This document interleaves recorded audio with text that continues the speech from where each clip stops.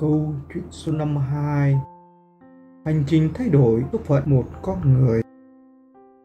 Có một ngôi làng đã cư trú lâu đời trong thung lũng. Để lấy nước uống, họ phải đi đến một con sông rất xa. Người già và trẻ nhỏ không thể đến được. Thế là dân làng quyết định giao cho hai thanh niên khỏe mạnh. Nhiệm vụ gánh hàng ngày đồng thời, cam kết mỗi gánh nước sẽ được trả một khoản thù lao nhất định. Hai chàng thanh niên vui vẻ nhận lời. Sau đó, họ chuẩn bị thùng gánh nước hàng ngày. Lúc mặt trời mọc, họ đi làm cho đến tận hoàng hôn mới nghỉ. Mặc dù rất vất vả, nhưng do có thu nhập cũng khá, nên họ đã làm rất hăng say. Một anh chàng nghĩ đến khi mình để dành đủ tiền, mình sẽ làm nhà rồi cưới vợ, sinh con.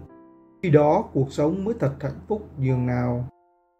Còn chàng trai thứ hai lại nghĩ mỗi ngày trèo đều lội suối, gánh nặng đường xa.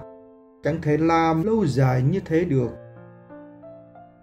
Hơn nữa, gánh nước đã lấy hết thời gian của mình, chẳng có chút tự do và vui thú gì cả nếu mà dẫn được nước từ con sông ngoài núi kia vào thung lũng, thì chẳng phải không cần gánh nước đó. Việc dẫn nước sông vào thung lũng không hề dễ dàng chút nào.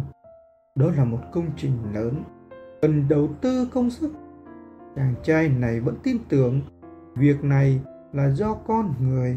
Chỉ cần mọi người nhất trí, đồng lòng không có việc khó nào mà không thể thực hiện được.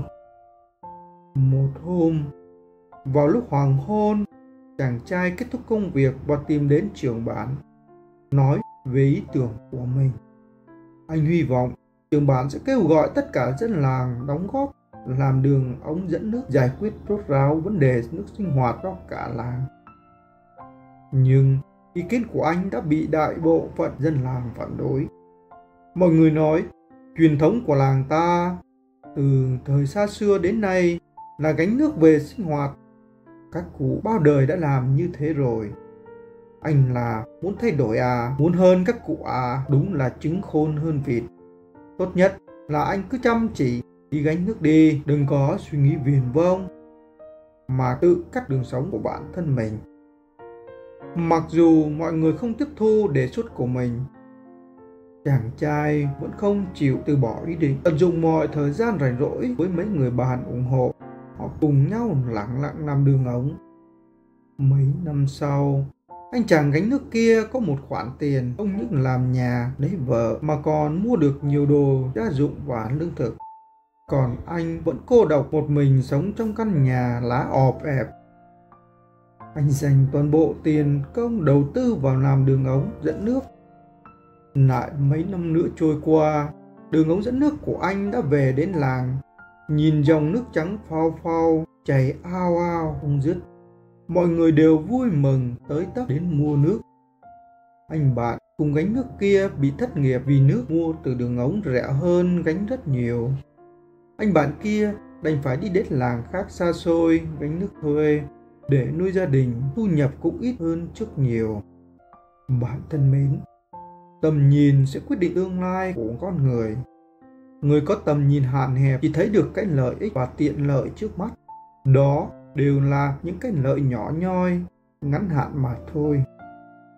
Người có tầm nhìn xa trông rộng sẽ bỏ qua cái lợi nhỏ ngắn hạn trước mắt, mà đầu tư công sức tiền bạc vào tương lai. Rồi át có thành công lớn, thành quả lâu dài. Người có thành công lớn là người có tâm nhân lại quyết chí, bền lòng. Ngoài ra, đó phải là người có lòng thiện lương vì lợi ích cộng đồng. Thế mới nhận được sự giúp đỡ, góp sức của người khác. Nếu chỉ dựa vào quyết tâm, sức lực cá nhân, thì việc lớn cũng khó thành. Nếu việc chỉ lợi cho bản thân, thì cuối cùng cũng chỉ thất bại mà thôi. Nhưng cũng có người có tầm nhìn xa trông rộng nhưng lại biết suy nghĩ kế hoạch viển vông cứ lần nữa chờ đủ điều kiện, mãi chẳng bắt tay vào làm, thì cũng chẳng làm lên công cán gì. Hành trình vạn dặm bắt đầu bằng bước từng bước chân, từ những thành công nhỏ tích tiểu thành đại, từ đất thành núi. Chẳng ai có thể một bước lên trời được.